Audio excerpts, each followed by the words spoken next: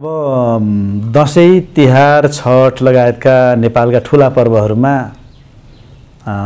घनीभूत रूपमा नेपालीहरूको आवागमन हुने सडकमा सवारीको चाप पनि बढ्ने बजार गर्ने मेला चल्ने नाचगान चल्ने रमाइलो गर्ने मनोरञ्जनात्मक क्रियाकलापहरू पनि हुने भएको हुनाले यी सबै अवस्थाहरूलाई मध्यनजर गरेर नेपाल प्रहरीले दसैँ तथा तिहार दसैँ तिहार छठ लगायतको सुरक्षा योजना एक महिना अगाडि नै बनाएर प्रत्येक जिल्लामा जिल्लाहरूको आफ्नो वस्तु स्थिति सुरक्षाको अवस्था समेतलाई हेरेर जिल्लाहरूले छुट्टा छुट्टै किसिमका सुरक्षा योजनाहरू बनाएका छन् र कार्यान्वयन गरिरहेका छन्। मूलत अब तिहारको कुरा गर्नुपर्दाखेरि तिहार भन्नसाथ यो रङको के अरे बत्तीको चाडबाड हो। साथसाथै दाजुभाइ दिदीबहिनीहरूको भेटघाट हुने चाडबाड पनि हो। यस अर्थमा दाजुभाइ दिदीबहिनीहरूका आवाज आवागमनहरू सबैका बुवा आमा दाजुभाइ दिदीबहिनी सबै दाजुभाइ सबै दिदीबहिनी कोही न कोही दाजुभाइ दिदीबहिनी बुवा आमाका दाजुभाइ बुवा आमाका दिदीबहिनी सबै हुनुहुन्छ भने उहाँहरूको आवागमन चल्छ। यस कारण यो आवागमनमा सडकको चाप पनि बढी हुने हुनाले सडकमा चेक जाँच गर्ने मापसे लापसे गरेको हेर्ने अनियन्त्रित किसिमले सवारी चलाउने किसिमको कुराहरूलाई पनि हेर्ने लगायतका कामहरू हामी नियमित रूपमा ट्राफिक प्रहरी मार्फत गर्छौँ र त्यसलाई मद्दतको रूपमा चाहिँ अन्य सिभिल प्रहरी खटिएको हुन्छ। दोस्रो मेला।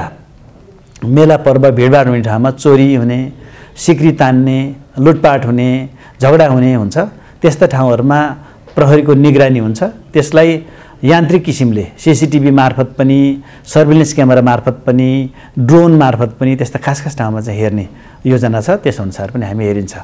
अर्को यही मौ मौकामा तिहारमा देउसी भैलो खेल्ने रमाइलो गर्ने रातिसम्म बसेर हो हल्ला गर्ने आफ्नो मनो मनोरञ्जन गरिरहँदा अन्य व्यक्तिहरूको चयन खोज्ने सम्मका क्रियाकलाप पनि झैझगडा पनि हुने हुनाले त्यो रातिसम्मको गतिविधिलाई नि निश्चित टाइमसम्म जिल्ला सुरक्षा समितिहरूले निर्णय गरेर आफ्नो ठाउँ अवस्था अनुकूलता हेरेर कुनै ठाउँमा अलिकति बढी समय कुनै ठाउँमा घटी समय हेर्ने अवस्था हेरिकन दिने र त्योभन्दा बढी समयसम्म जसले हल्ला गर्छ जसले उशृङ्खलता ल्याउँछ जोसम्म झैझगडा गर्छ जोसम्म मापसे र लापसेमा लट्ठ परेर हिँड्छ जसले मापसे लापसे गरेर सवारी साधन अनियन्त्रित रूपमा चलाउँछ त्यस्ता किसिमलाई नियमन गर्ने किसिमले यो सुरक्षा योजना तयार छ।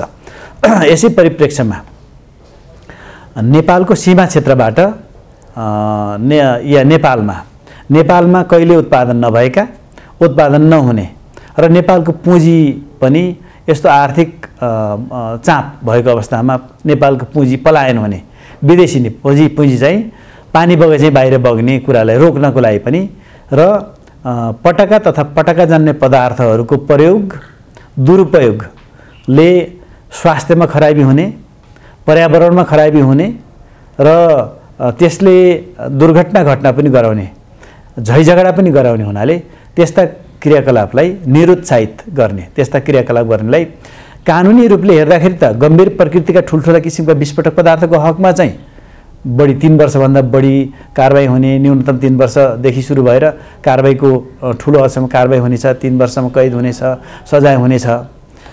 मध्यम स्तरको चाहिँ दुई वर्षसम्मको छ। अब यो जुन पटाका तथा पटाकाजन्य पदार्थहरू पड्काएर कसैको क्षति हुन गएको कसैले उजुर हालेको कसैको चाहिँ स्वास्थ्यमा गम्भीर असर परेको कसैको केही तोडफोड टुटफुट भएको अवस्थामा त्यस्तो व्यक्ति विरुद्ध पनि पटाकै पड्काएको अवस्थामा पनि मुद्दा दर्ता भएर विस्फोटक पदार्थ अन्तर्गत मुद्दा दर्ता हुन्छ। यस सम्बन्धी हामीले हाम्रो सोसियल मिडिया मार्फत पनि सबैलाई सूचना अनुरोध जारी गरेका छौँ। त्यस्तो पटाकाजन्य पदार्थहरू पड्काएर अर्कोको शरीरमा पर्यावरणमा दुर्घटना घटना गर्नुमा यो योगदान गर्ने किसिमका क्रियाकलाप जो जसले गरेका हुन्छन् व्यक्ति वा समूह त्यो बालबालिकाको हकमा त्यसका अभिभावकहरू त्यो उनीहरूलाई चाहिँ कानुनी दायरामा ल्याउँछ। त्यसमा तिन महिनादेखि सुरु भएर फेरि कारवाही पनि हुन्छ। जरिमाना पनि हुन्छ। थुनामा पनि जान्छ। त्यसैले मनोरञ्जन गर्ने बेलामा प्रहरीको हिरासतमा बस्न अथवा जेल जान नपरोस् भन्नेतर्फ पनि सबैलाई सचेतना होस् भन्न हामीले यस अगाडि नै हामीले हप्ता दस दिन अगाडि नै सूचना जारी गरिसकेका छौँ र त्यो सुरक्षा योजना अन्तर्गतकै विषय हो र प्रत्येक जिल्लाहरूले पनि त्यसरी अवैध पटाका तथा पटाकाजन्य पदार्थहरूको आयात गर्ने ओसार पसार गर्ने भण्डारण गर्ने बिक्री वितरण गर्ने प्रयोग गर्ने सबैलाई चाहिँ आफ्नो तीले के कति गरेका छन् त्यसको आधारमा कानुनी दायरामा ल्याउने काम हुन्छ। अब यी सामान्य किसिमको यो जुन हामीले सुरक्षा योजना बनाएका छौँ ती ठाउँअनुसार फरक फरक पनि हुन्छन्। ती चाहिँ प्रयोग गर्न त कतै पाउ नपाउने जुन भनेको प्रतिबन्धित विषयवस्तु हुन् तिनलाई प्रयोग गर्न कसैले पाउँदैन। अब अरू नेपालको संस्कृति हाम्रो प्रचलन हाम्रो धर्म अनुसार मनाउनु पर्ने चाडबाडलाई हाम्रो संस्कृतिको गौरव र गौरवमय किसिमले मनाउन र नेपालीहरूले आफ्नो चाडबाड मनाइरहँदा सभ्य किसिम सभ्यताको परिचय दिन सकुन् भन्ने हिसाबले त्यस्ता सभ्य किसिमका चाडबाड मनोरञ्जनका क्रियाकलापहरूमा नेपाल प्रहरी अन्य सुरक्षा निकायको साथसाथै उनीहरूलाई पनि साथमा लिएर सुरक्षा प्रदान गर्नलाई नेपालका गल्ली गल्लीमा चोक चोकमा बाटोमा घाटोमा मेला हुने ठाउँमा भिडभाड हुने ठाउँमा बजार हुने ठाउँमा मूलत आर्थिक कारोबार हुने ठाउँमा ब्याङ्क वित्तीय संस्थाहरूमा सुन चाँदी पसलहरूमा आर्थिक कारोबार हुने ठुला पसल कवलहरूमा त्यस्तोहरूमा पनि प्रहरीको सादा पोसाकको तथा युनिफर्मड प्रहरीहरू रहन्छन् र त्यहाँ त्यहाँ भएका सिसिटिभी क्यामेराहरूलाई पनि प्रहरीले आफ्नो चाहिँ प्रिभ्यूभित्र लिएर हेरेर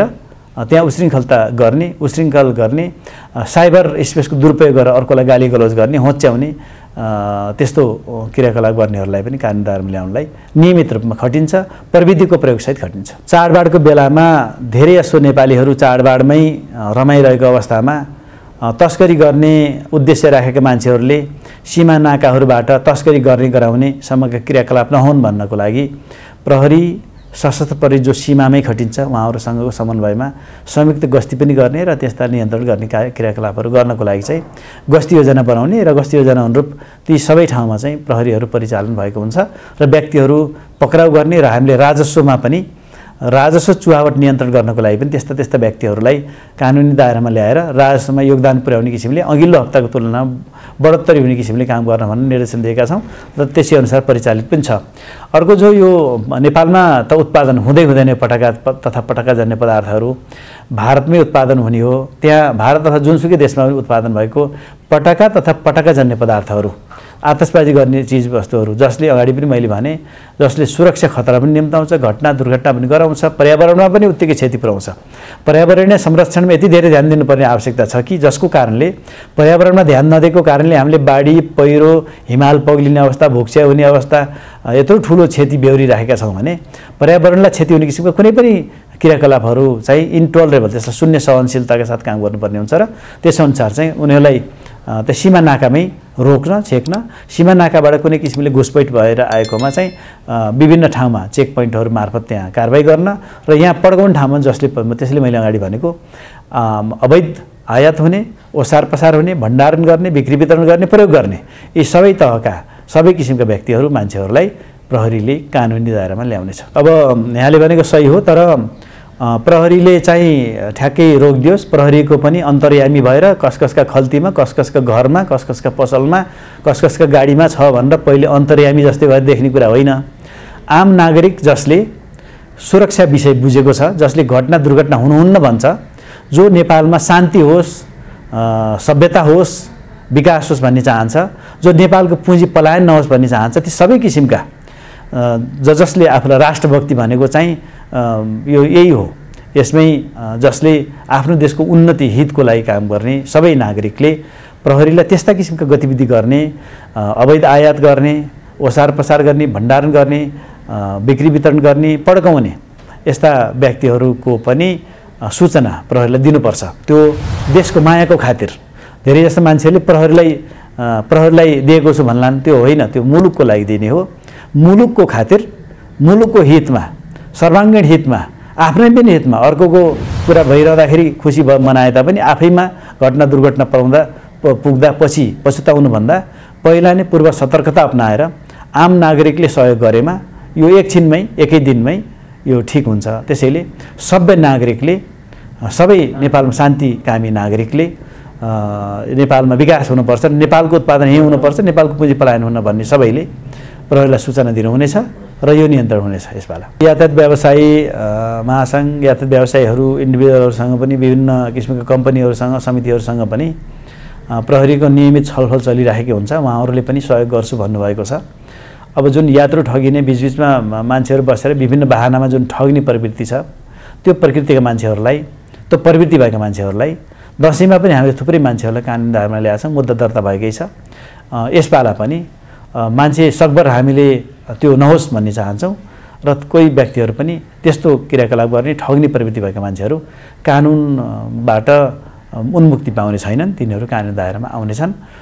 व्यवसायीहरूसित पनि छलफल भएको छ जहाँसम्म खाद्यान्नको कुरा छ प्रत्येक जिल्लामा प्रत्येक पालिकामा नम्बर एक त प्रत्येक पालिकाको उपाध्यक्षले प्रत्येक पालिकाको चाहिँ जनप्रतिनिधिज्यूहरूले त्यो पालिकामा रहेका आफ्ना समग्र नागरिकहरू र मुलुकभरका नागरिकको हितमै काम गर्ने पर्ने हुनाले उहाँहरूको जिम्मेवारीमा छ। अहिले उपभोक्ता हितको लागि चाहिँ प्रत्येक पालिकाले गर्नुपर्नेछ पछाडि त्यस पछाडि जिल्ला प्रशासनको प्रमुख सहायक प्रमुख जिल्ला अधिकारीको पनि संयोजकतामा एउटा कमिटी हुन्छ। उहाँहरूले आफ्ना एरियामा जहाँ अखाद्य पदार्थ बिक्री गरिन्छ जहाँ गुणस्तरहीन खाद्य पदार्थ बिक्री गरिन्छ जहाँ कालोबजारी गरिन्छ भन्ने लाग्छ। त्यस्ता त्यस्तो ठाउँमा पूर्व सतर्कता नै लिई त्यसको छानबिन अनुसन्धान चेक जाँच गर्ने भनेको छौँ। र त्यो कतिपय ठाउँमा गर्नु पनि भएको छ। त्यसरी गरेर त्यस्ता आफ्नो छिटो सम्पन्न हुने बाहनामा छिटो सम्पन्न हुने कामनाका साथ गरिने यस्ता हरेक किसिमका ठग्ने प्रवृत्तिहरू कालोबजारीका कुराहरूलाई कसैले पनि टोलरेट नगरौँ त्यस्ता कोही भएमा नजिकको प्रहरीलाई खबर पनि गरौँ नजिकको पालिकालाई आफ्नै पालिकामा पनि त्यसको उजुरी दिन अनुरोध छ। अब हामीले दसैँ र तिहार दुइटै चाडबाडमा हामीले हाम्रो जनशक्तिलाई छुट्टीमा छोडेका छैनौँ होइन? अत्यावश्यक बाहेक बिरामी भएको अत्यावश्यक भएको क्रियापुत्री भएको त्यस्तो बाहेक हामीले छोडेका छैनौँ। त्यसैले अहिले मोटामोटी रूपमा दसैँमा हामीले साठी हजारको हाराहारीमा जनशक्ति परिचालित थियो।